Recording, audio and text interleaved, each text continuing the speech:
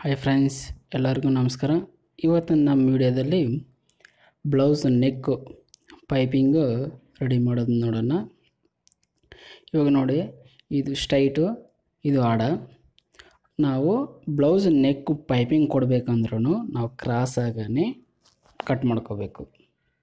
ಆಯಿತಾ? ಸ್ಟೈಟು ಒಂದು ಕಡೆ ಇದ್ದರೆ ಆಡ ಒಂದು ಕಡೆ. ನಾವು ಎರಡಕ್ಕೂ ಮಧ್ಯದಲ್ಲಿ ನಾವು ಕ್ರಾಸಾಗಿ ಕಟ್ ಮಾಡಬೇಕು. ನಾನಿದು ಎಕ್ಸ್ಟ್ರಾ ಬ್ಲೌಸು ಪೈಪಿಂಗ್ ಕೊಡೋಗೋಸ್ಕರ ಅಂತಲೇ ಗೋಲ್ಡ್ ಕಲರು. ಒಂದು ನಾಲ್ಕೈದು ಶೇಡಲ್ಲಿ ಬಟ್ಟೆ ತಗೊಬಂದು ಮಾಡ್ಕೊಂಡಿರ್ತೀನಿ. ಯಾಕಂದರೆ ಕೆಲವೊಂದಕ್ಕೂ ಪೈಪಿಂಗ್ ಕೊಡಲೇಬೇಕಾಗತ್ತೆ. ಹಾಗಾಗಿ ಇವಾಗ ಬ್ಲೌಸು ಇದು ಫುಲ್ಲು ರೆಡಿ ಮಾಡಿದ್ದೀನಿ. ನೆಕ್ ಮಾತ್ರ ಬ್ಯಾಲೆನ್ಸಿಂಗ್ ಮಾಡಿದ್ದೀನಿ ನಿಮ್ಗೆ ತೋರಿಸೋಗೋಸ್ಕರ ಇವಾಗ ನೋಡಿ, ಇದು ರೌಂಡ್ ನೆಕ್ಕು ಕಟ್ ಮಾಡಿರೋದು. ಇವಾಗ ಈ ರೌಂಡ್ ನೆಗಕ್ಕೆ ಪೈಪಿಂಗ್ ಹೇಗೆ ಅಟ್ಯಾಚ್ ಮಾಡ್ತೀನಿ ಅನ್ನೋದನ್ನು ಹೇಳ್ಕೊಡ್ತೀನಿ. ಅಂದರೆ ಇದಕ್ಕೂ ದಾರ ಇರೋದಿಲ್ಲ ಥ್ರೆಡ್ ಪೈಪಿಂಗ್ ಇರೋದಿಲ್ಲ. ಬರೀ ಬಟ್ಟೆನಲ್ಲೇ ಪೈಪಿಂಗ್ ಮಾಡೋದು. ಇವತ್ತು ನಾನು ತೋರಿಸ್ಕೊಡ್ತಿರೋದು ನೋಡಿ. ಬಟ್ಟೆನೂ ಒಂದು ಕಾಲು ಅಷ್ಟು, ಅಂದರೆ ಒಂದು ಸೆಂಟಿಮೀಟ್ರ್ ಅಷ್ಟು ಮುಂದೆ ಬಟ್ಟೆ ಬಿಟ್ಬಿಟ್ಟು ಕರೆಕ್ಟಾಗಿ ನಾವು ಪ್ರೆಜರ್ ಪೊಟ್ಟು ಏನು ಮಾರ್ಜಿನ್ ಇರ್ತದೋ ಸೇಮ್ ಅದೇ ಮಾರ್ಜಿನ್ನು ನಾವು ಅಟ್ಯಾಚಿಂಗ್ ಮಾಡಬೇಕಾಗತ್ತೆ. ಆಯಿತಾ? ಪ್ರೆಜರ್ ಪುಟ್ಟು ಎಷ್ಟು ಇರ್ತದೋ ಸೇಮ್ ಅದೇ ಮಾರ್ಜಿನ್ ನಾವು ಬ್ಲೌಸ್ ಪೀಸನ್ನು ಮತ್ತು ಪೈಪಿಂಗ್ ಪೀಸನ್ನು ಎರಡೂ ಕರೆಕ್ಟಾಗಿ ಒಂದೇ ಲೆವೆಲಕ್ಕೆ ಅಟ್ಯಾಚ್ ಮಾಡ್ಕೊಂಡು ಹೋಗಬೇಕಾಗತ್ತೆ. ಯಾವುದನ್ನೇ ಎಳೆಯೋದಾಗಲಿ, ಯಾವುದನ್ನೇ ಲೂಸ್ ಕೊಡೋದಾಗಲಿ ಮಾಡಬಾರ್ದು. ಮತ್ತು ನೀವು ಏನಾದ್ರೂ ನಮ್ಮ ಚಾನಲ್ಗೆ ಹೊಸದಾಗಿ ಭೇಟಿಯಾಗಿದ್ದಲ್ಲಿ ಈ ಕೂಡಲೇ ಸಬ್ಸ್ಕ್ರೈಬ್ ಮಾಡ್ಕೊರಿ. ಪಕ್ಕದಲ್ಲಿರೋ ಬೆಲ್ ಐಕನ್ನು ಕ್ಲಿಕ್ ಮಾಡಿ. ಹಾಗೆ ನಮ್ಮ ವಿಡಿಯೋಗೆ ಸ್ವಲ್ಪ ಸಪೋರ್ಟ್ ಮಾಡಿ ನಮಗೂ ಇದನ್ನು ನೀವು ಆ ಪ್ರೆಜರ್ ಪಟ್ಟು ಎಷ್ಟು ಮಾರ್ಜಿನ್ ಇರ್ತದೋ ಸೇಮ್ ಅಷ್ಟು ಮಾರ್ಜಿನ್ ನೀವು ಕಂಟಿನ್ಯೂ ಮಾಡಬೇಕಾಗತ್ತೆ. ನೆಕ್ಸ್ಟ್ ಈ ಟರ್ನಿಂಗ್ ಇರ್ತದಲ್ವ? ಅಲ್ಲೊಂದು ಒಂದೆರಡು ನ್ಯಾಚ್ ಮೂರು ನ್ಯಾಚ್ ಹಾಕೋಣ. ಯಾಕಂದರೆ ನಿಮಗೆ ನೆಕ್ಸ್ಟ್ ಟರ್ನಿಂಗ್ ಆಗೋದಕ್ಕೆ ಅನುಕೂಲ ಆಗುತ್ತೆ. ಇವಾಗ ಇದನ್ನು ನೋಡಿ ಒಂದು ಟರ್ನಿಂಗ್ ಫೋಲ್ಡ್ ಮಾಡಿಬಿಟ್ಟು ಮತ್ತು ಇನ್ಸೈಡ್ ಇವಾಗೇನು ನಾವು ಟೆನ್ಷನ್ ಲೆವೆಲ್ ಮಾರ್ಜಿನ್ನು ಅಟ್ಯಾಚಿಂಗ್ ಮಾಡಿರ್ತೀವೋ ಸೇಮ್ ಅದನ್ನು ಉಲ್ಟಾ ಮಾಡಿಬಿಟ್ಟು ಸೇಮ್ ಅಷ್ಟನ್ನೇ ಅಟ್ಯಾಚ್ ಮಾಡ್ತಾ ಇರ್ತೀವಿ. ಆದರೆ ಇವಾಗ ಹಾಕೋ ಸ್ಟಿಚ್ ಬಂದುಬಿಟ್ಟು ಆ ಫ್ಯಾಬ್ರಿಕ್ ಸೆಂಟ್ರ್ ಇರಬೇಕಾಗತ್ತೆ.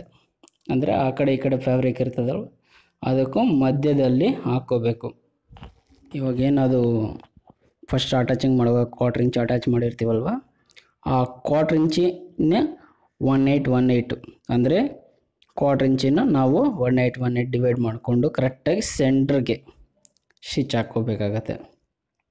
ಅಂದರೆ ಈ ಫೋಲ್ಡಿಂಗ್ ಬಂದುಬಿಟ್ಟು ನಮ್ಮ ಬ್ಲೌಸ್ ಪೀಸು ಎಷ್ಟಿರ್ತದೋ ಲೈನಿಂಗು, ಬ್ಲೌಸ್ ಪೀಸ್ ಎಷ್ಟು ಇರ್ತದೋ ಅಷ್ಟಕ್ಕೆ ಫೋಲ್ಡ್ ಮಾಡಿಕೊಂಡು ನಾವು ಕರೆಕ್ಟಾಗಿ ಸ್ಟಿಚ್ ಮಾಡ್ಕೋಬೇಕಾಗತ್ತೆ. ಯಾಕಂದರೆ ಇದರಲ್ಲಿ ಹೆಚ್ಚು ಕಡಿಮೆ ಆದರೆ ನೆಕ್ಸ್ಟ್ ಫಿನಿಶಿಂಗ್ ಮಾಡುವಾಗ ಕಷ್ಟ ಆಗಿಬಿಡ್ತದೆ ಅದು. ಹಾಗಾಗಿ ಕರೆಕ್ಟಾಗಿ ಎಷ್ಟು ಇರ್ತದೋ ಅಷ್ಟು ನೋಡಿಕೊಂಡು ಅಟ್ಯಾಚಿಂಗು ಮಾಡ್ಕೊ ಫೋಲ್ಡ್ ಮಾಡಿ ಸ್ಟಿಚ್ ಹಾಕ್ಕೋಬೇಕಾಗತ್ತೆ.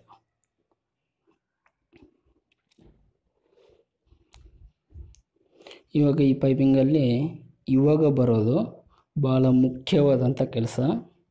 ಇದರಲ್ಲೇ ಇದೇ ಕೆಲಸ ಇರೋದು. ಯಾಕಂದರೆ ಇವಾಗ ಈ ಎಕ್ಸ್ಟ್ರಾ ಬಟ್ಟೆ ಇದೆ ಅಲ್ವಾ? ಇನ್ಸೈಡ್ ಟರ್ನ್ ಮಾಡಿ ನಾವು ಏನು ಎಕ್ಸ್ಟ್ರಾ ಮಾಡಿದ್ದೀವೋ ಇದನ್ನು ತುಂಬ ಕೇರ್ಫುಲ್ಲಾಗಿ ತುಂಬ ಕೇರ್ಫುಲ್ ಅಂದರೆ ನಾವು ಸ್ವಲ್ಪ ಯಾಮಾರಿದ್ರೆ ಬ್ಲೌಸ್ ಪೀಸು ಕಟ್ಟಾಗೋ ಸಾಧ್ಯತೆ ಜಾಸ್ತಿ ಇರ್ತದೆ. ಆಮೇಲೆ ಬ್ಲೌಸ್ ಪೀಸ್ ಕಟ್ಟಾಗಿದೆ ಅಂದರೆ ತುಂಬ ಕಷ್ಟ ಆಗುತ್ತೆ. ನೀವು ಎಷ್ಟು ಕೇರ್ ತಗೊಂಡು ಇದನ್ನು ಸ್ಟಿಚ್ ಮಾಡ್ತಿರೋ, ಅಂದರೆ ಸ್ಟಿಚಸ್ ಕಟ್ ಮಾಡ್ತೀರೋ ಅಷ್ಟು ನಿಮಗೆ ಒಳ್ಳೆಯದು ಈ ಥರ ನೀಟಾಗಿ ಕಟ್ ಮಾಡಿಕೊಡ್ಬೇಕಾಗತ್ತೆ. ಆದರೆ ನೋಡಿ, ಇದು ಇವಾಗ ನಮಗೆ ಆ ಸ್ಟಿಚ್ ಇರೋದಕ್ಕೂ ಅದಕ್ಕೂ ಗ್ಯಾಪ್ ಇರ್ತದೆ. ಫುಲ್ಲು ಥರ ಕಟ್ಟಾಗಿದೆ ಆಯಿತಾ? ಇವಾಗ ಮತ್ತೆ ಆ ಒಂದು ಸೆಂಟಿಮೀಟ್ರನ್ನ ಒಂದು ಫೋಲ್ಡ್ ಮಾಡಿಬಿಟ್ಟು ಮತ್ತೆ ಅದನ್ನು ಒನ್ ಏಯ್ಟ್ ಲೆವೆಲ್ಗೆ ಅಂದರೆ ಬಟ್ಟೆನಲ್ಲೇ ಒನ್ ಏಯ್ಟ್ ಲೆವೆಲ್ಗೆ ಈ ಥರ ಫೋಲ್ಡ್ ಮಾಡಿಬಿಟ್ಟು ಸ್ಟಾರ್ಟಿಂಗಲ್ಲಿ ಮೂವ್ ಆಗೋದಿಲ್ಲ ಮಿಷಿನಲ್ಲಿ. ಸ್ವಲ್ಪ ನೀವು ಅಡ್ಜಸ್ಟ್ ಮಾಡಿಕೊಂಡು ಅದನ್ನು ಕೈಯಲ್ಲೇ ತಿರ್ಸ್ಕೊಂಡು ಸ್ವಲ್ಪ ಮೂವ್ ಮಾಡ್ಕೋಬೇಕಾಗತ್ತೆ, ಒಂದು ಸೆಂಟಿಮೀಟ್ರ್ ಅಷ್ಟು. ಆಮೇಲೆ ಒಂದೇ ಲೆವೆಲು, ಅಂದರೆ ಇವಾಗ ಒನ್ ಏಯ್ಟ್ ಲೆವೆಲು. ಕರೆಕ್ಟಾಗಿ ನೋಡಿಕೊಂಡು ಮಾಮೂಲಕ್ಕೆ ಇದಕ್ಕೇನು ಪ್ರೆಷರ್ ಪುಟ್ಟುಗಳು ಅವೆಲ್ಲ ಏನು ಚೇಂಜ್ ಮಾಡೋ ಅವಶ್ಯಕತೆ ಇರೋದಿಲ್ಲ. ಒಂದೇ ಲೆವೆಲಕ್ಕೆ ನೀವು ಮಾಡಿಕೊಂಡು ಹೋಗಬೇಕಾಗತ್ತೆ. ಆದರೆ ಟರ್ನ್ ಮಾಡಿ ಫೋಲ್ಡ್ ಮಾಡಿ, ಆದರೆ ಸ್ಟಿಚಿಂಗ್ ಹಾಕುವಾಗ ಪೈಪಿಂಗ್ ಪೀಸ್ ಮೇಲೆ ಸ್ಟಿಚ್ ಬರಬಾರ್ದು. ಬಾಡಿ ಮೇಲೇ ಸ್ಟಿಚ್ ಬರಬೇಕಾಗತ್ತೆ. ಪೈಪಿಂಗ್ ಪೀಸ್ ಮೇಲೆ ಸ್ಟಿಚಿಂಗ್ ಬಂದರೆ ಅದು ಚೆನ್ನಾಗಿರಲ್ಲ ನೋಡೋಕ್ಕೆ ಬಾಡಿ ಮೇಲೇ ಇದು ಸ್ಟಿಚ್ ಫುಲ್ ಸ್ಟಿಚ್ ಬರಬೇಕಾಗತ್ತೆ. ನಮ್ಮ ವೀಡಿಯೋಗಳನ್ನು ತುಂಬ ಜನ ಪೈಪಿಂಗ್ ಕೇಳ್ತಾಯಿದ್ರಿ ಅದನ್ನು ಎಲ್ಲರಿಗೂ ಈ ನಿನ್ನೆ ಒಂದು ಪೈಪಿಂಗ್ ಮಾಡೋದು ತೋರಿಸ್ಕೊಟ್ಟಿದ್ದೀನಿ ಇವತ್ತೊಂದು. ಮತ್ತು ನೆಕ್ಸ್ಟ್ ಬರೋ ವಿಡಿಯೋದಲ್ಲಿ ನೆಕ್ಗೆ ಇದೇ ಥರ ಸೇಮ್ ನೆಕ್ಕಗೆ ದಾರ ಹಾಕ್ಬಿಟ್ಟು ಪೈಪಿಂಗ್ ಹೇಗೆ ರೆಡಿ ಮಾಡೋದು ಅಂತಲೂ ನಾನು ನೆಕ್ಸ್ಟ್ ಬರೋ ವಿಡಿಯೋಗಳಲ್ಲಿ ಮಾಡಿ ತೋರಿಸ್ತೀನಿ. ನೀವು ಮಿಸ್ ಮಾಡಿದೆ ನನ್ನ ಚಾನಲ್ಗೆ ಒಂದು ಲೈಕ್ ಮಾಡಿ. ಹಾಗೆ ಈ ವಿಡಿಯೋಕ್ಕೂ ಲೈಕ್ ಮಾಡಿ, ಒಂದು ಕಮೆಂಟ್ ಮಾಡಿ, ಹಾಗೆ ಮಿಸ್ ಮಾಡಿದೆ, ನನಗೊಂದು ಸಬ್ಸ್ಕ್ರೈಬ್ ಮಾಡಿಕೊಡಿ.